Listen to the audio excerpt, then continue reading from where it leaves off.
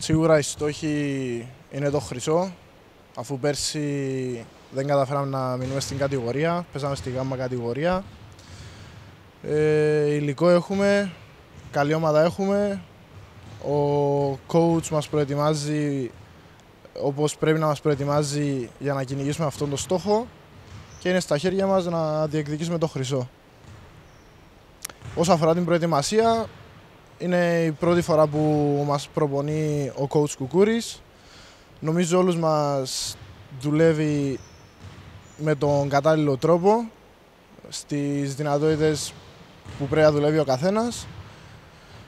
Μας πρόχνει στο μέγιστο των δυνατοτήτων μας, λιώνουμε, μας αρέσει και πάμε να κάνουμε ό,τι καλύτερο μπορούμε.